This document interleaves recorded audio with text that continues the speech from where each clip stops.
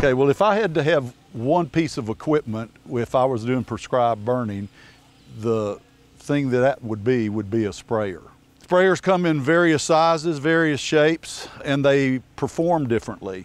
So we'll start out with a uh, talking about uh, a primary sprayer, and primary would be the one that you would the one that you would want to have on hand if you had to actually uh, control a fire.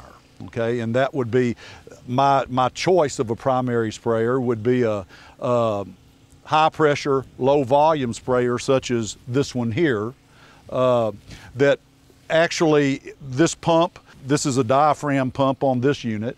It will put out anywhere from probably 8 to 11 to 12 gallons per minute. So what that high pressure and low volume does for you is it conserves water. You can actually control a fire uh, with lower volumes of water as long as your pressures are inflated. And so I'd, uh, we generally run these things at about uh, three quarter throttle if we're, if we're really using them, generating somewhere in the neighborhood of 450 pound, uh, PSI and probably putting out about nine gallons a minute.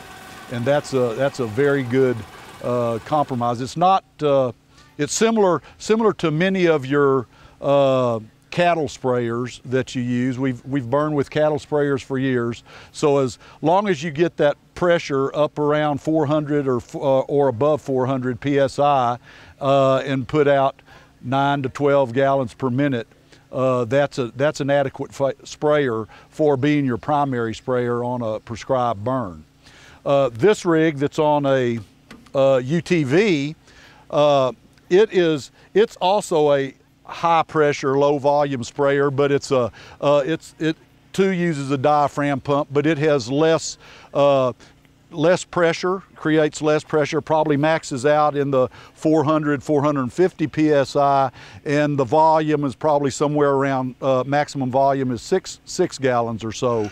The thing that you have to think about though is that you have on a UTV sprayer, your water capacity is much diminished. This is probably a 50 gallon rig, whereas we're looking at a two or 300 gallon rig here. So um, when you're out in a, doing a prescribed burn and you're away from a water source, well, you have to think about the quantity of water that you're going to use. Opposed to low pressure, higher volume rigs, if you think about that, we're thinking something that maybe a roller pump that might uh, generate up to 100 psi and put out uh, put out six to eight gallons per minute or something like that but because it doesn't have the pressure, you can't control as much fire with the same amount of water.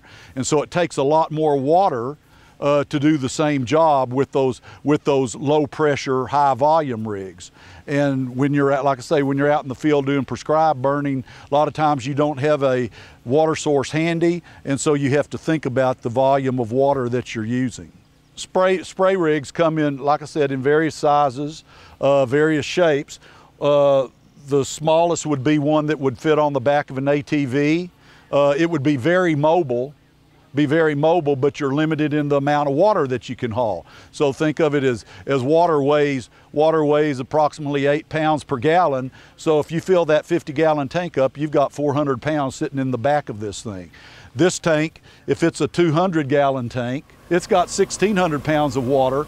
And so it's not as mobile. If it's if you have uh, muddy terrain or real rocky terrain you may not be able to get to some places with a rig like this on this flatbed truck whereas you can with this UTV then you can contrast that with a pull behind sprayer which may be the same sprayer as this on a trailer in some situations, that might be not as mobile depending on what you're pulling it with. If you're pulling it with a four-wheel drive tractor, you might be able to get into tighter places than you could with it mounted on the back, uh, with it mounted on the back of this flatbed just because you have, have the capabilities of going, going into rougher places. So you have to think about those types of things when you're doing your burn to kind of fit your, fit your equipment with your, with your burn, with your burn plan.